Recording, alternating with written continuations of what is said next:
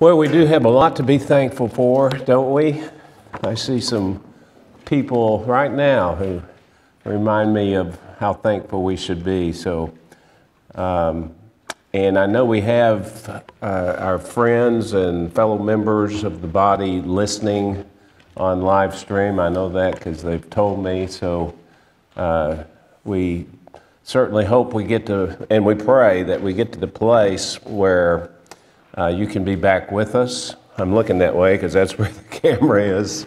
But uh, that is certainly our prayer uh, that the Lord will uh, rid us um, in, in, in great portion of this uh, virus and we can all be back physically uh, together. But we certainly understand those that do not come. That's totally understandable, and uh, we look forward to the day that you can come and be back with us. But it's so great to see you uh, here in the building. Uh, that's an encouragement to the teacher, and that, um, and um, so I hope you, hope you, as Lauren said, I hope you had a, a, a good Thanksgiving. Well, we've arrived at the second half of uh, Matthew chapter six, so please uh, turn there, and I will too. It is a very familiar and quite convicting half chapter that speaks to two of the most vexing challenges the follower of Jesus Christ faces uh, the competing pleasures the world has to offer, and related to that, the worry and anxiety that so easily overwhelms us when we begin to believe we may not get as much of it as we would like. I was tempted to treat all 16 verses in one lesson, but I will not. And you can determine whether I chose not to because that would have been too much work. As in, uh, I think it was Mark Twain who said, I sat down to write you a short letter, but I wrote a long one instead because I didn't have enough time or uh, whether it was because each of these sections is uh, so treacherous and prevalent that they deserve their own spot- spotlight. But we'll read and study only the first six verses this morning that have to do with the competing pleasures of the world as compared to what has true value. And you'll forgive me, I hope, but I am sort of taunting ourselves with the title of the lesson uh, where is your treasure?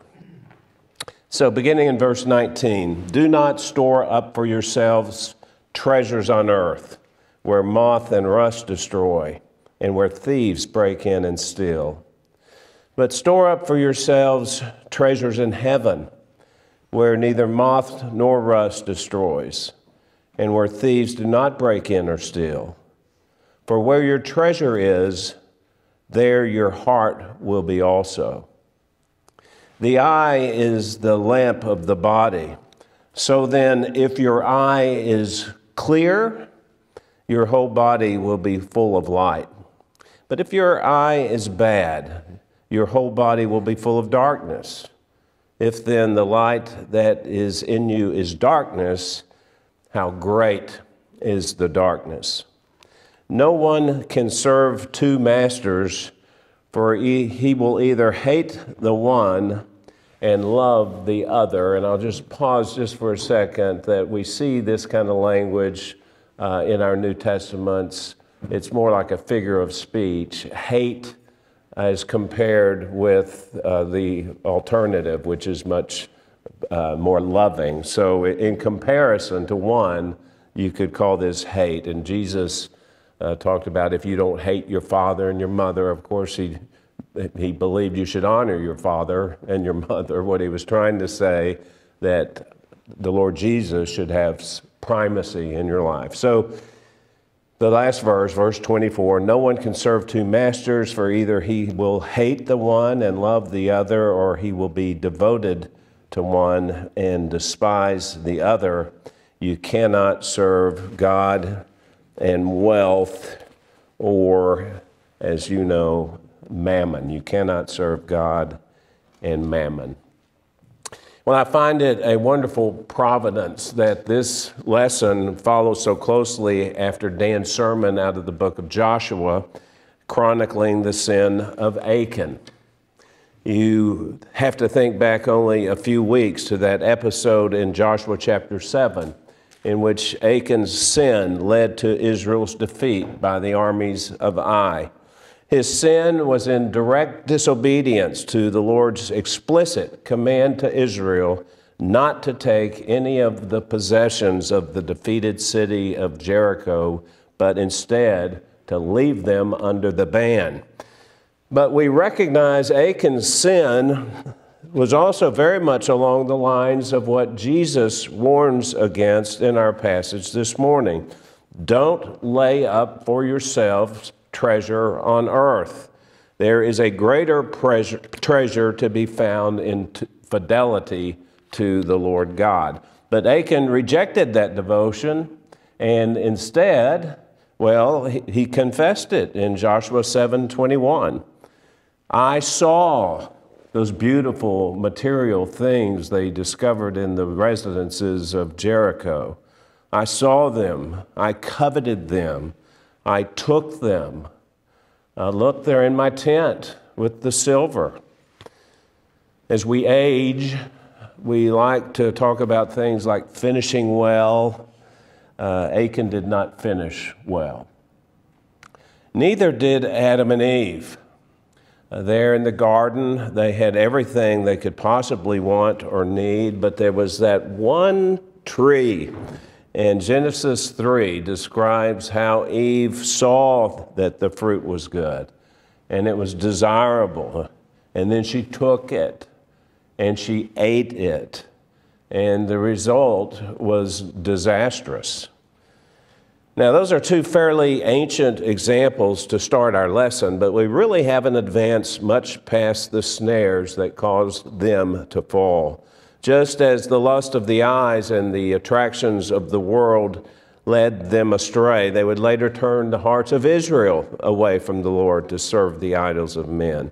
And today, you and I are tempted too by the glittering, seductive siren call of things which have stolen our devotion and, and plunged many into a desperate and relentless race to obtain the good life. It's not a downfall of any one generation, but a reflection of the human heart. And it is as Augustine famously wrote Thou hast made us for thyself, O Lord, and our heart is restless until it finds its rest in thee. Well, here in the Sermon on the Mount, we find Jesus challenging his followers to examine where their hearts reside. He begins with the negative injunction in verse 19 Do not store up for yourselves treasures on earth where moth and rust destroy and where thieves break in and steal. I think we are by nature treasure seekers. Uh, who of us cannot say that when we were children, at least, we were fascinated with the idea of searching for treasure. Uh, perhaps it was books like Treasure Island or, or stories of pirates uh, burying the treasure chest on an island and drawing out a map where X marks the spot. Uh, didn't we imagine what it would be like to open, to find and open up that treasure chest uh, full of, of gold coins, jewelry, and doubloons. The issue the Lord raises here is not whether or not we will seek after treasure, that's assumed. He speaks of treasure in order to draw our attention to what we prize above all else. The issue is what kind of treasure is worthy of our pursuit and of storing up for ourselves. And he exhorts us, you see here, both negatively and positively. Here in verse 19, he states negatively that we are to not store up treasures for ourselves on earth, for he says, where he says they'll be liable to loss.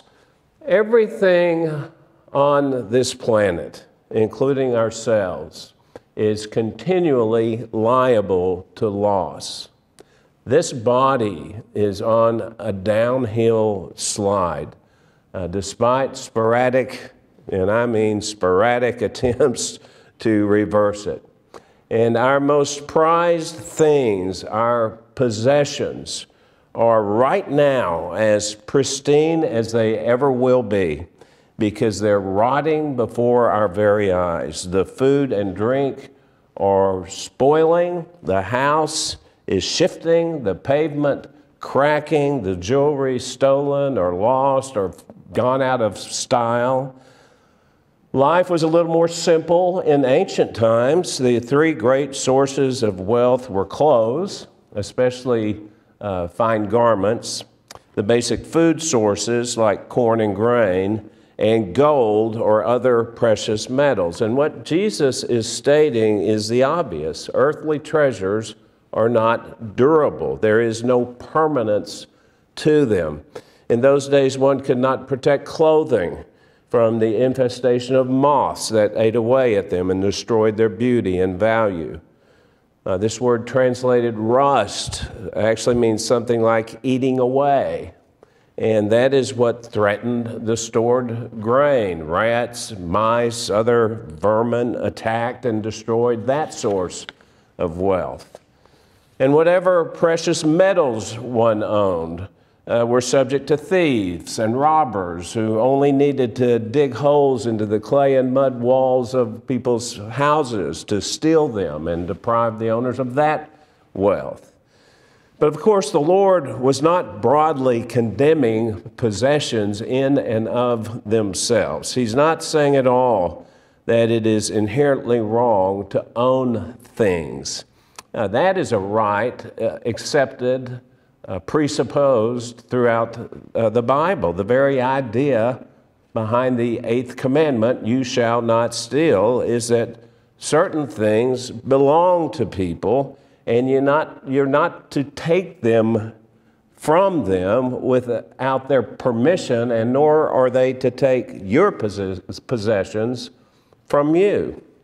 And what was it that Peter said to Ananias and Sapphira in Acts chapter 5 when those two had secretly held back a sum of money uh, out of their gift to the church. Peter charged Ananias, while the land remained unsold, did it not remain your own? It was yours, it belonged to you. And he continued, and after it was sold, was it not under your control? Their sin Ananias and Sapphira was not having possessions, but in lying about their own generosity. And never did the Lord suggest that a person ought not to be the kind of steward of his financial means that he would not wisely preserve some for future needs or in order to leave something behind for his heirs. He actually encouraged labor for profit. And later, his apostles insisted that if a man would not work and so earn money to take care of his family, he shouldn't be allowed to mooch off of others because he'd been lazy. Uh, he shouldn't be allowed to go begging to others in order to feed himself. He's worse than an unbeliever, the apostle said. The wisdom that we gain from the scriptures is that we ought to look to the noble ant he works, and then he lays aside some of his gains so that he might draw from it in the future. No, what Jesus is pointing to is the kind of selfish accumulation of worldly goods that amounts to avarice, what one commentator labeled worldly mindedness. Lay up not for yourselves treasure on earth, Jesus said. It's not good stewardship he condemns, but covetousness.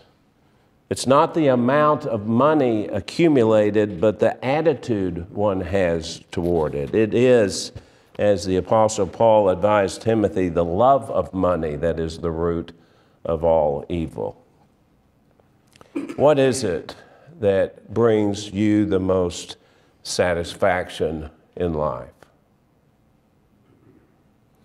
Well, now, certainly for some, it is the accumulation of riches, of money, and all that riches can buy. But he's equally, the Lord is equally pointing us to the other types of earthly treasures that can dominate our time and, and our energy. It is an easy thing, for example, to fall into a pattern of living in which we wake up one day and realize that our children have become our idols. Our position in our company, uh, the power we've accumulated, or our reputation, or what kind of house or houses we live in, or the luxurious travel that we indulge in. All these things we discover are, are, fleeting, and even after having obtained them, we eventually come to the sad realization that they'll not belong to us forever, but when we die, we'll carry with us exactly what we brought into the world nothing. You've made, you've heard me quote more than once or twice that little statement the old sports writer Blackie Sherrod made about money Money can't buy happiness, he said, but it sure can rent it for a while. We all know what Blackie meant by that. All things being equal, we'd rather have a little money than not. But the better illustration is one Dr. Waltke shared years ago about the ambitious businessman who was startled by the appearance of an angel in a vision who offered to give him any one thing he desired and would ask for. And this man, being a savvy investor, thought for a moment and he replied that he'd like to have a copy of the stock exchange page of the Wall Street Journal one year from the day. Well, promptly uh, the angel handed it to him and he was ecstatic. He had now a plan to gain treasure beyond his wildest imaginations. And, but as his eyes scanned the page, he inadvertently glanced across to the opposite page where he saw a picture of himself in the obituary section. Dr. Waltke said the man quickly lost all interest in the stock market.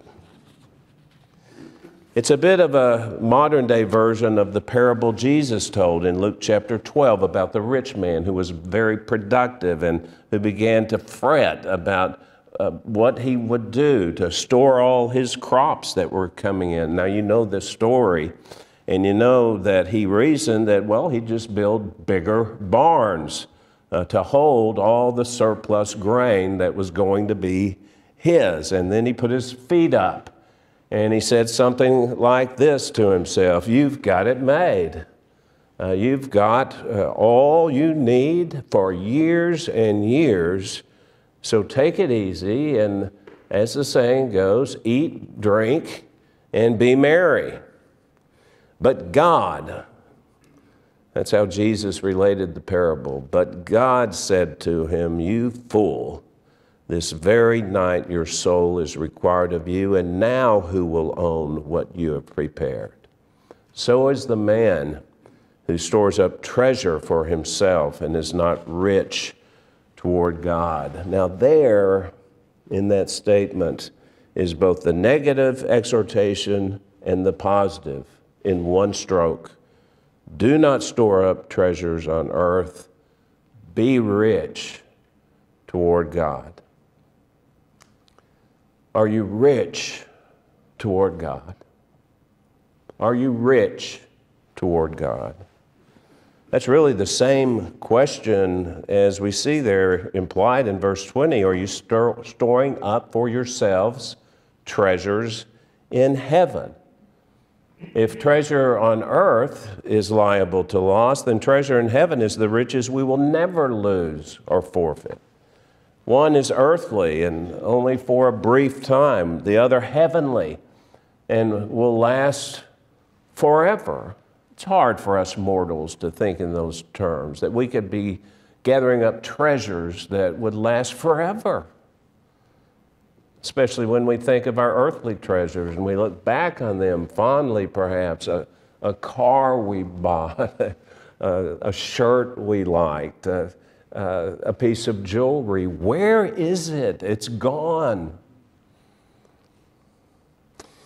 Well, in the context of our sermon, let's not forget that this is the Sermon on the Mount, and it has different elements we've been studying. So, in this, in the context of this sermon, uh, this storing up uh, must refer to the things we do here on this earth, which are done as unto our Father. Remember, Jesus said, "Pray, uh, our Father." So, these are things we do uh, as unto our Father in whose presence, we've talked about living our lives in the presence of God, in whose presence we're actors in a, in a heavenly drama. It's the things we do that last for eternity. It's living the Beatitudes, not just knowing what they are, but living them. That's the hard part. Praying the sincere prayer, uh, growing in our knowledge of Christ and exercising the spiritual gifts, not just knowing that perhaps we have a, a, spiritual gift, but exercising the spiritual gifts we've received. It would include anonymously helping those in need, but also Uh, giving money to support the ministry of the gospel. It's living kingdom minded lives with a mind to make disciples and thus invest in eternity. It would be conduct resembling Moses.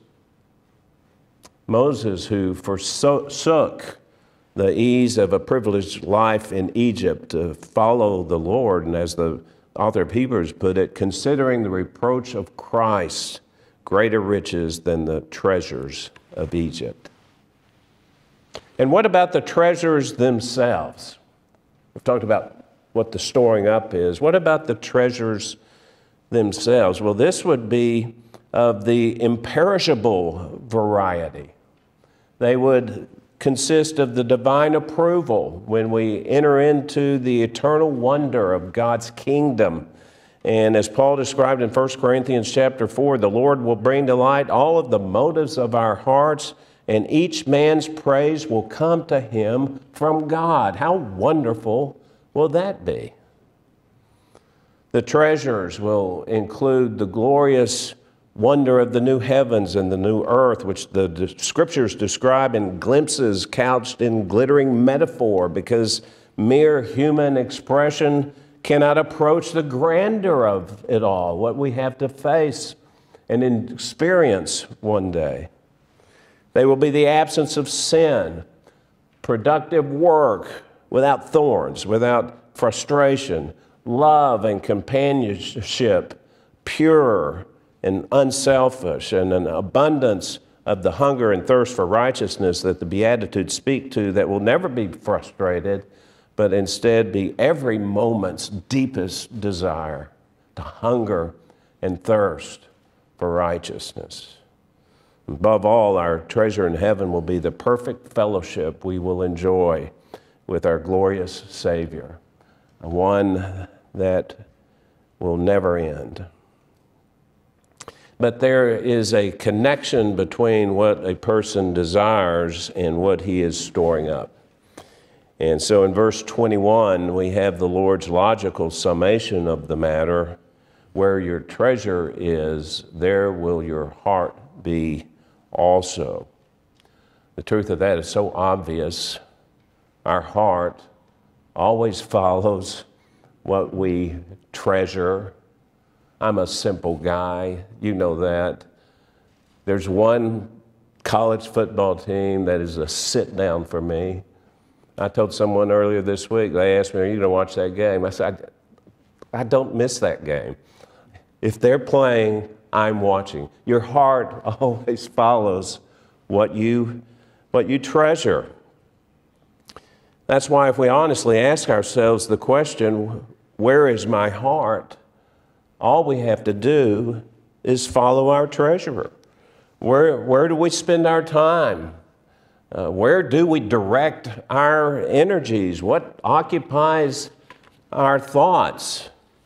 Today's technology companies have learned that. It's part of the key to their phenomenal success. They know how to track our treasure, and then they feed it back to us. It's an ongoing cycle.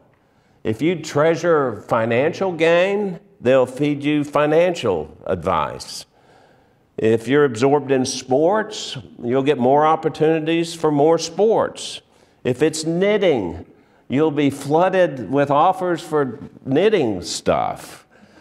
Whether it's hunting or dogs or politics or video games, the tech companies will know it and they will appeal to your heart because they know where it is. They know where our hearts are.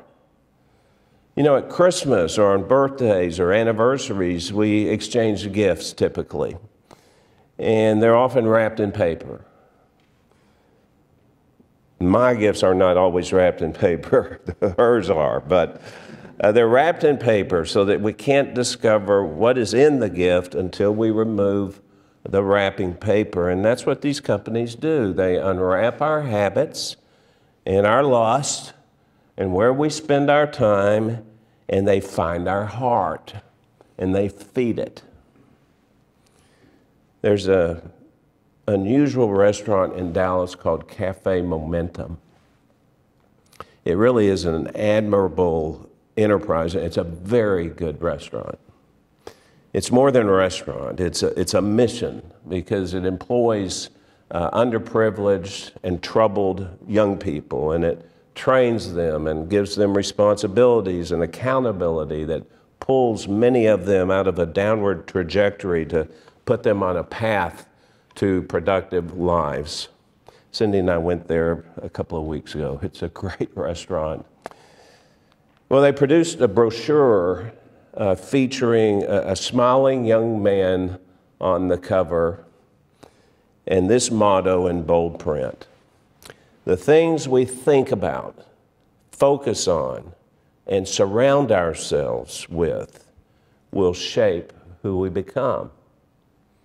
Now, that's not my message. I like that slogan and I agree with it. But the flip side of it is also true. The things we think about, focus on, and surround ourselves will reveal where our treasure is. Colossians 3, verse 1 Therefore, if you have been raised up with Christ, keep seeking the things above where Christ is, seated at the right hand of God. Set your mind on the things above, not on the things that are on earth. And that's where the imperishable treasure is to be found. So, another question where is your treasure? The last verses of our passage, verses 22 through 24, contain the, the, the two illustrations the Lord then gave of the single minded devotion the follower of Jesus must have. The first is the clear eye or single eye.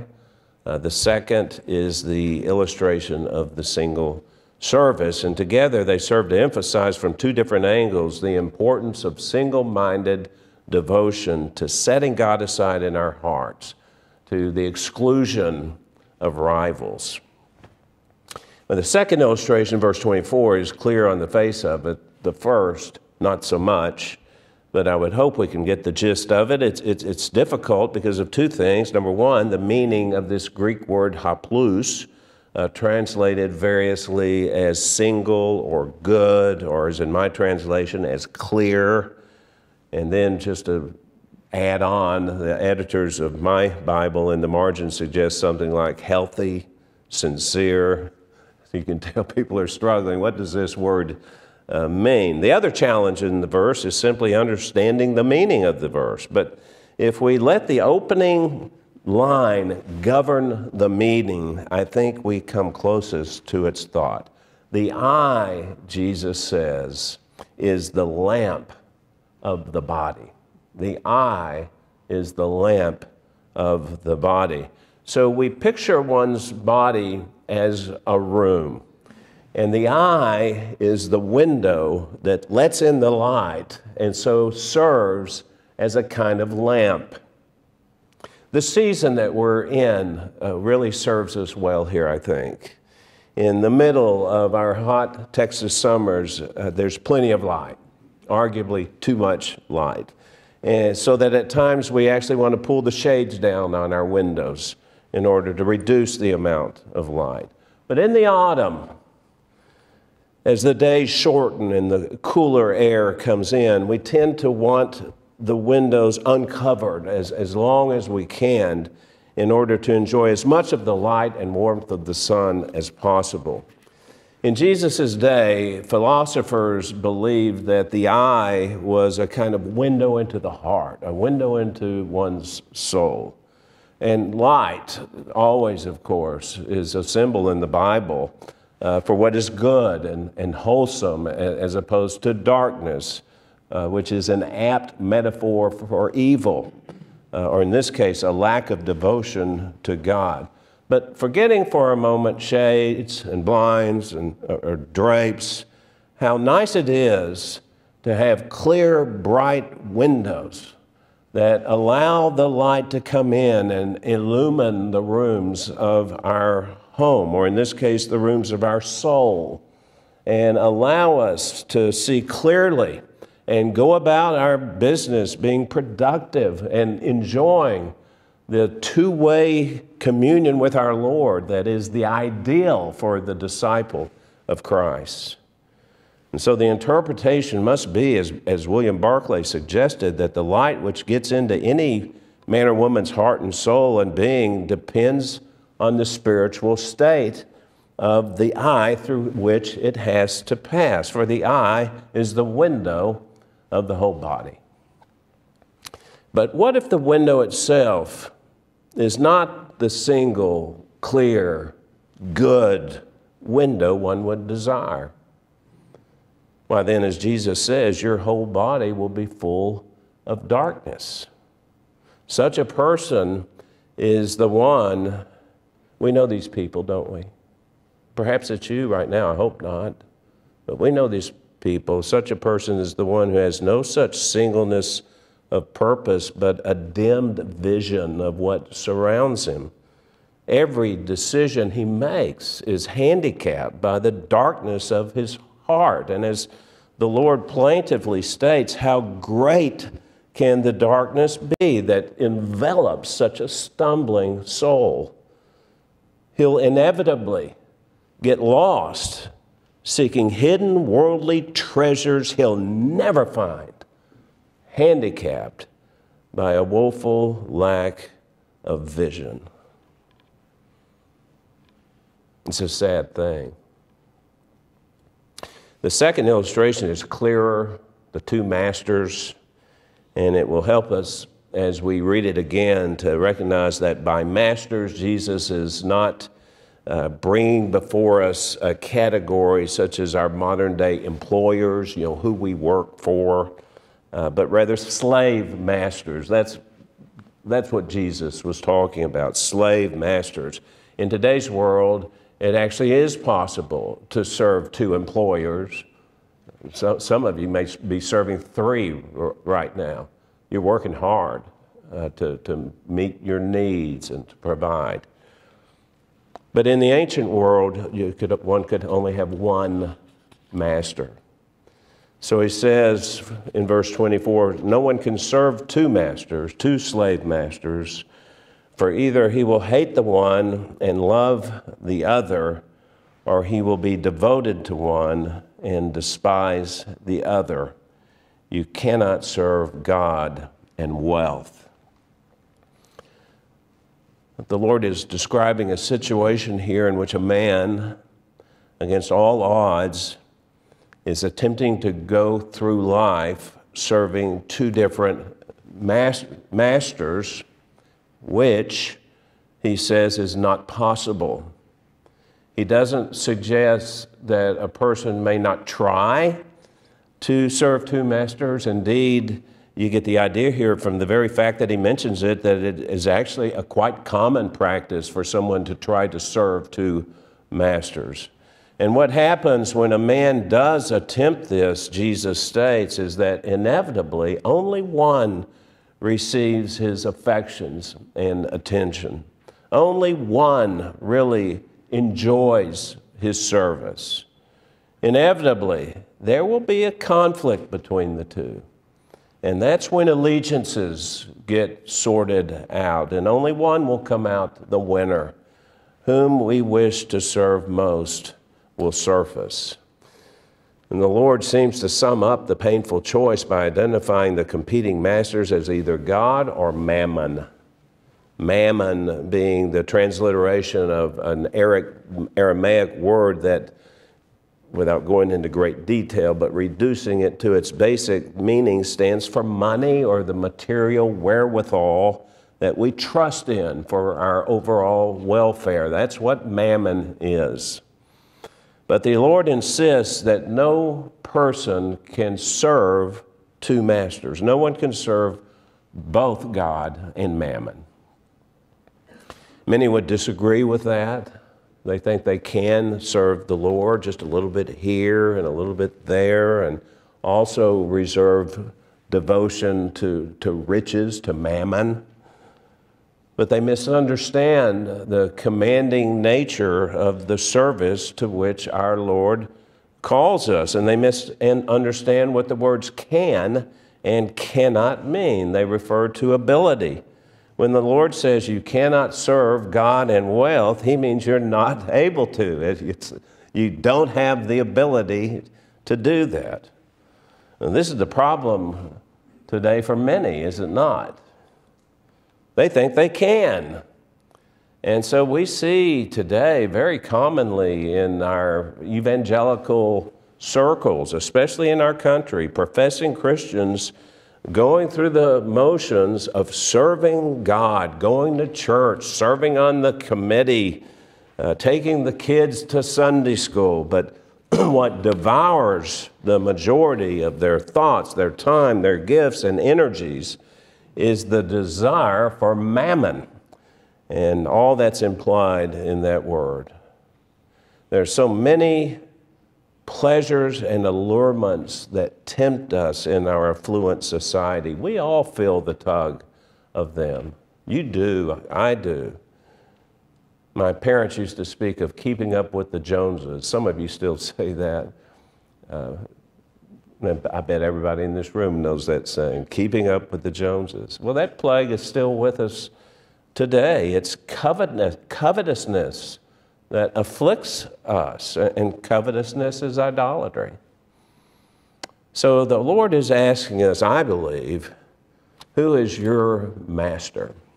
Whom are you serving? What is it that your eyes are fixed upon? Dr. Carson, Donald Carson, illustrated this by describing a large field of fresh new snow glistening in the winter sun in his native Canada. You have to picture this large field, freshly fallen snow, a white sheet. There's no mark in it, no footprint. Yours is the privilege, he said, of tramping across it and establishing any pattern you like. If you look fixedly at your feet and, and try to cross the field in a straight line, you'll make a very erratic uh, pattern. If instead you fix your eyes on a tree on the horizon and keep focused on that tree and walk across that field of snow, uh, the path you leave will be remarkably straight. The point of the illustration clearly is that we tend to move toward the object on which we fix our gaze, our gaze. So if we want to answer the question, uh, who is our master? All we need to do is examine what we have fixed our gaze upon. There is our master. It's true.